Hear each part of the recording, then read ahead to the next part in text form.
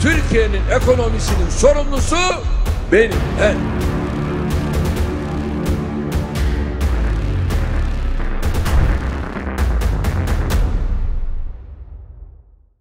Nasıl okuyorsunuz şu andaki fotoğrafı siz? Biz Cumhuriyet Halk eski bir Cumhuriyet Halk Partili olarak. Şöyle, şöyle. Ben tabii e, Türkiye'nin yararına olan, Türkiye'nin hayrına olan çalışmaları yapmakla biz mükellefiz. Çünkü biz e, Türkiye Değişim Partisi olarak gerçekten bu toprakların partisiyiz. E, hamurumuz ve mayamız bu topraklar. Ve biz Türkiye'nin sorunlarını, siyasal, sosyal, ekonomik sorunlarını en iyi bilen bir partiyiz. Şimdi bir siyaset adamının bir öyküsü olacak, bir enerjisi olacak, bir arkasında bıraktığı eserler olacak.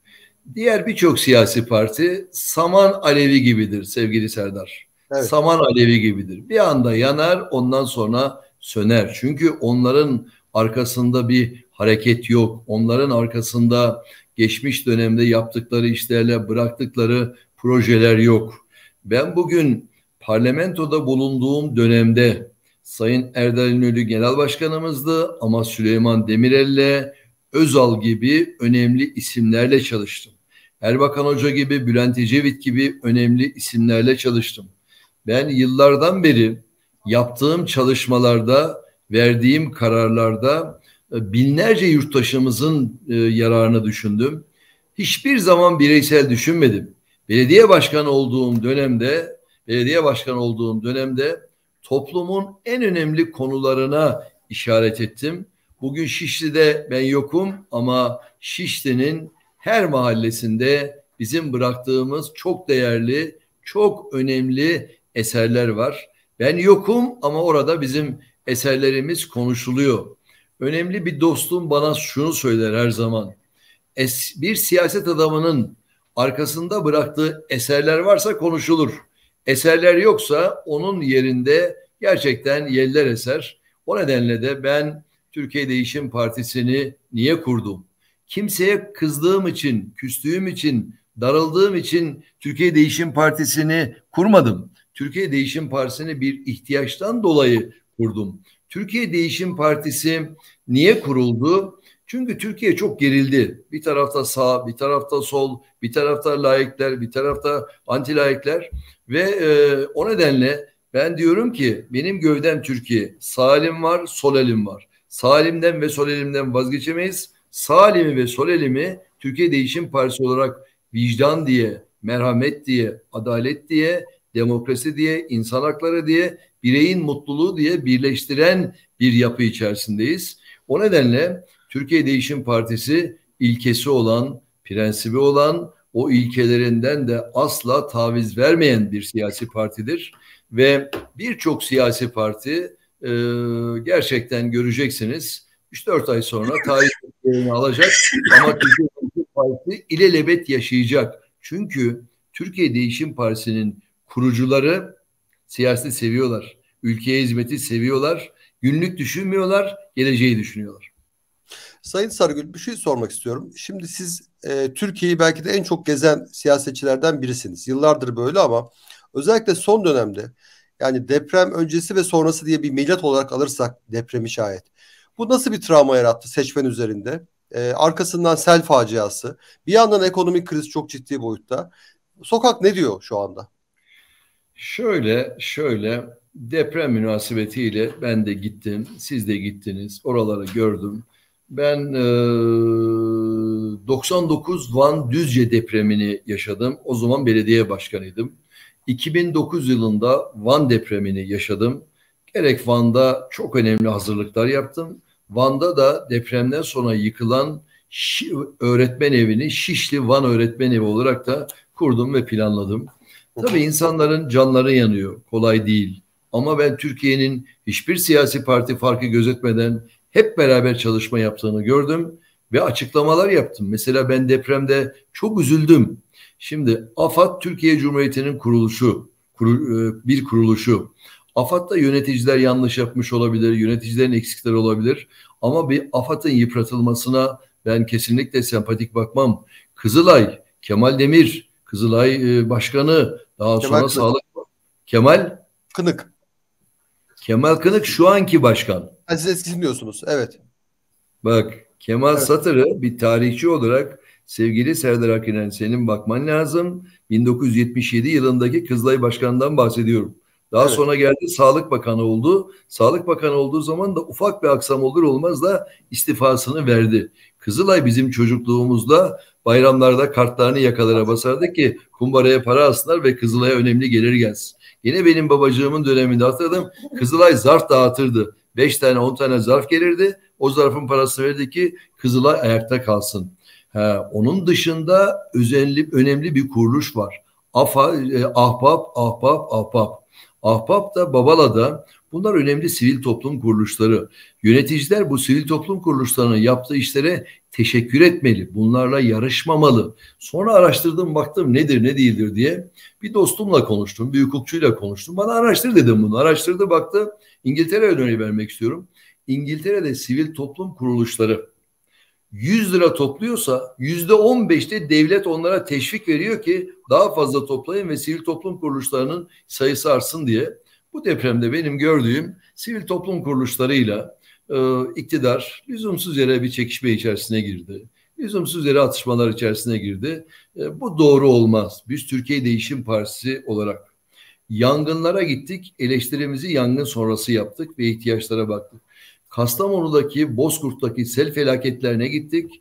Efendim Karabük'teki sel felaketlerine gittik. Orada konuşmadık. Geldikten sonra konuştuk ve nasıl tedbirler almamız gerektiği konusunda ve bu depremde o bölgeye ben ve arkadaşlarım en fazla gidenlerden bir tanesiydik. Ama öyle gece saat 2'de arabanın içerisine oturup oradan yayın yapmak, popülist politika yapmak bunlar bunlar sevgili Serdar'cığım eskide kaldı. Artık bunları hiç kimse yutmuyor. Türkiye Değişim Partisi kalıcı olan neyse onu yapar. Artık vitrinlerle oynama devri, bilmem ne devri. Bunlar tenekeden teyare işler. Bunlar artık çok çok Evet. geride kaldı. Bu Başka- sosyal medya, bu sosyal medya fırtınaları, onlar bunlar gelir geçer. Ama kalıcı olarak ne kalır? Siz ciddiyetinizi korursanız, bir devlet adamı özelliklerini korursanız, hele hele sel üzerinden, deprem üzerinden siyaset yapmazsanız ağırlığınız muhteşem bir noktada olur. Türkiye Değişim Partisi sorumluluğunun bilincinde olan bir parti. İktidarın iyi yaptıklarını söyleyen, eksik bıraktıklarını da çözüm önerileriyle sunan. Çünkü Türkiye Değişim Partisi olarak biz şuna bakıyoruz. Eğer bir problem var, o problemi açıklıyorsanız, o problemin çözüm önerisini sunmuyorsanız siz de o problem bir parçası sayılırsınız. Biz demokrasi diyen, barış diyen, insan hakları diyen, doğa diyen, çevre diyen ve en kalıcı önerileri yapan bir siyasi partiyiz. Dolayısıyla dedik ki biz doğal afetler ve deprem bakanlığı derhal kurulmalıdır. Böylesine büyük bir felaketi AFAD yönetemez.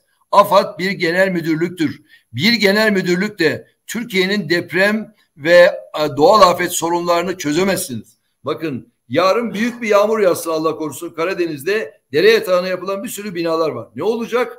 Doğal Afetler ve Deprem Bakanlığı bunu derhal çözecek. Ve biz bu noktada daha kararlı olduk. Hiçbir muhalefet partisinin yapmadığını Türkiye Değişim Partisi olarak biz yaptık. Peki ben bu örneği nereden aldım? Kaynak da vermek durumundayız. Kopya çekerseniz olmaz. Kaynak verirseniz saygınlığınız ve güzelliğiniz olur. Benim görevim her şeyi bilmek değil.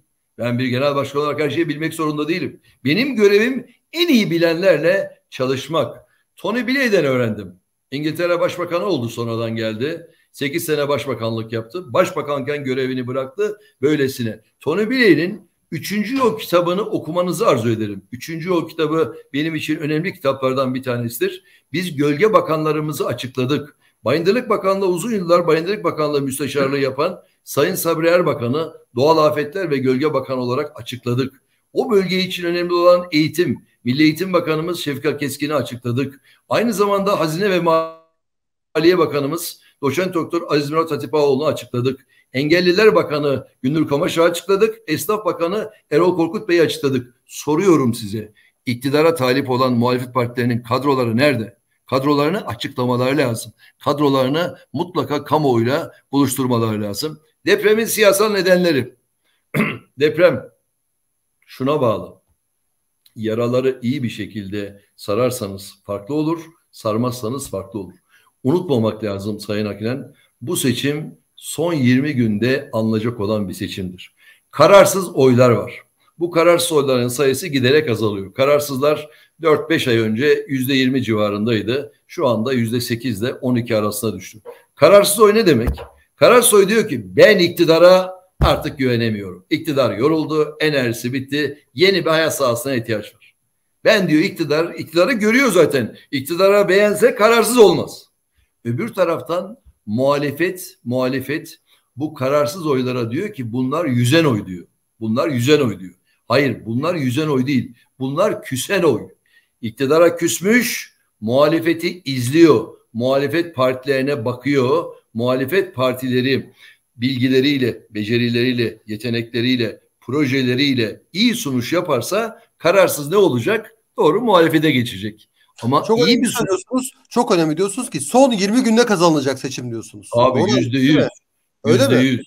Yüzde yüz. Ve ve bir şey söyleyeyim. Mesela Cumhurbaşkanı adayını çok iyi planlamak gerekiyor. Bir süre sonra insan yorulur.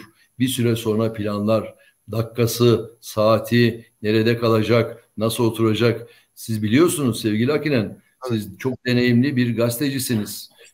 Bir, bir yayına çıkarsınız. Size öyle bir soru sorulur ki bütün siyasi yaşamınız o anda inanın ki sıkıntıya düşer. Bir soru sorulur. Öyle bir cevap verirsiniz ki o bambaşka bir noktaya gider. Bu neye bağlı? Beyinde hazırlanmaya bağlı. Mesela şu anda ben bugün çok formdayım. İstediğin soruyu sorabilirsin ama dün beni yakalasaydım bu kadar formda değildim yani. Bunun arkasında bir strateji var. Ben biliyorum da anlatmanızı çok rica ediyorum. Aslında TikTok'un Türkiye için dünyada da öyle. Ne kadar önemli olduğunu biliyorsunuz. Biraz bunu anlatsanız da. Yani sosyal medya çağımızda niye önemli bir siyasetçi için? Ses gitti mi? Ben Ses geliyor mu? Tamam. Gayet iyi. Şöyle sesimizi duyurmak için Türkiye Değişim Partisi'nin görüş ve düşüncelerini anlatmak için birçok mecrayı kullandık. Başka türlü olmaz çünkü. ikiye ayrılmış vaziyette. Bir muhalefetin medyası var, bir de iktidarın medyası var. İnanın ki o videoların tamamında ülke sorunlarını, özellikle geçim sıkıntısı, özellikle hayat pahalılığını dile getirdik. Vatandaşın canı nerede acı nerede acıyorsa ben orada oldum. Mesela gittim kantine dedim ki bu gençler ne yiyecek? Bu gençler ne yapacak dedim. Ee, şöyle sokakla siyaset arasındaki siyasetle gençler arasındaki mesafeyi kaldırdık. O TikTok'larda siyasetin yapılış şeklini, siyasetin dilini birazcık değiştirdik. Yani eski partiler zamanın ruhunu yakalayamadılar. O yüzden de gençler arasında çok fazla etkili olmadılar. Biz samimi olduk, işten olduk ve Türkiye'nin meselelerini, gençlerin aslında yaşadığı sorunları dile getirdik.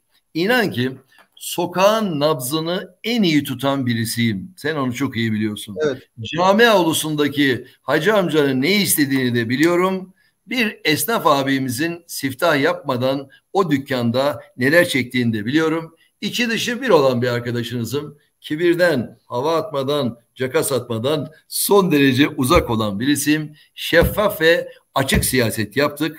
Yani ben takdir edersiniz ki hayır farklı birisiyim. Farklı kibir birisiyim. Ya, bir siyasetçi için en tehlikeli şey kibir olabilir mi? Şimdi e, şöyle bir şey var. Bunu niye soruyorum?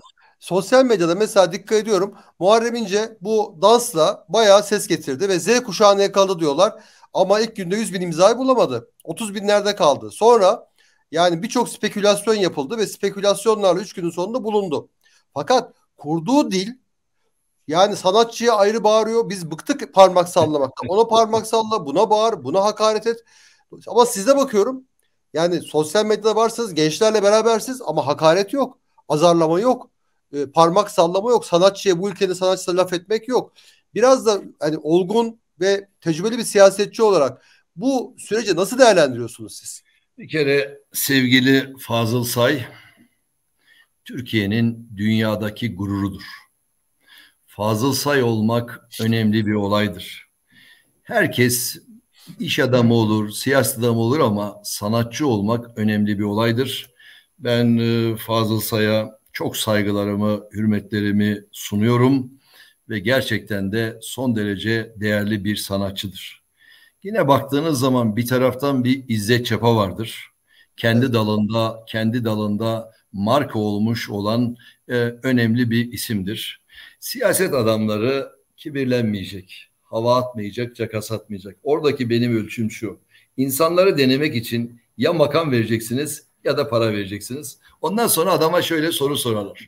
Makamın çok yüksek olabilir. Paran da çok olabilir ama adam olmazsan ne işe yarar? Önemli olan adam olmaktır. Bazı insanlar güçlerini koltuğundan alır. Bazı insanlar da güçlerini kendi kişiliğinden alır. Biz Türkiye Değişim Partisi olarak gücümüzü hiçbir zaman bulunduğumuz koltuktan almayız. Gücümüzü her zaman kendi kişiliğimizden alırız ve asla ötekimiz olmaz. Ayrım yapmayız. Bizim gibi düşünmeyenlere de saygı sunarız. Bakın ben günde bakıyorum ediyorum. Sosyal medyada en çok bizi eleştiren arkadaşlar kim? Günde iki tane, üç tane onları da buluyorum. Onlarla konuşuyorum. Diyorum çocuklar sizin anlattığınız Mustafa Sarıgül bu değil. Burada bir yanlışlık var. Gelin bir sohbet edelim diyorum ve birçoğunu da ikna etmeye çalışıyorum. Birçoğunu mesela bugün Giresun'dan bir hanımefendi vardı. Arkadaşlar şimdi onu buluyorlar ki onunla konuşacağım. Bizim görevimiz siyaset adamı olarak kızmak değil, küsmek değil. Burada burada Demirel vari olmak, baba vari olmak. Şimdi şöyle bir olay. Bir gün Bedri Koraman diye bir karikatürist vardı. Allah, Allah rahmet eylesin. Hatırlar mısınız bilmiyorum. Ben çalıştım kendisiyle Milliyet'te. Heh, çok güzel. O zaman Sayın Bedri Karaman'a dedim ki efendim dedim bana unutamadığınız hiç unutmuyorum. Park Şam'dan da Nişantaşı'nda bir öğlen yemeğinde ağırlıyorum. Efendim dedim unutamadığınız bir anınız bana anlatır mısınız? Siyasilerle olan dedim. Anlatayım Sarıgül dedi. Ee, ben de bir karikatür çizdim. Süleyman Demirel başbakan, Ercüment Bey de gazetenin, Ercüment Karacan da gazetenin sahibi. Yanlış söylemiyorum inşallah. Doğru, gazetenin, doğru. gazetenin sahibi. Bir şey çizdim Süleyman Demirel ile ilgili. İşte beyler memleket sizin. Hatırlıyorum aksırıncaya kadar, tıksırıncaya kadar yiyin. Ondan sonra diyor Bedir şey beni, Ercüment Karacan beni yukarıya çağırdı. Dedi ki ya Bedri Sayın Başbakan'la ilgili bir şey yapmışsın ama çok ağır değil mi bu? Ben de durdum dedi. Bir şey diyemedim dedi. Dedim ki yani beyefendi benim kalemim bunu çizdi. Peki dedim diyor. İndi aşağı. indim aşağı diyor.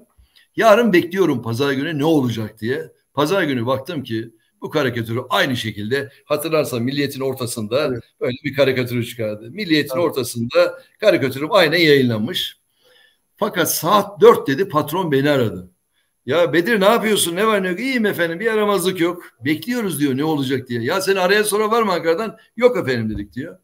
Akşam saat 5.30'da tekrar beni aradı diyor. Ya Bedri arayan var mı? Yok. Hadi o zaman bir yemeğe gidelim diyor. Gittik diyor. Gittik diyor. Hiç unutmuyorum.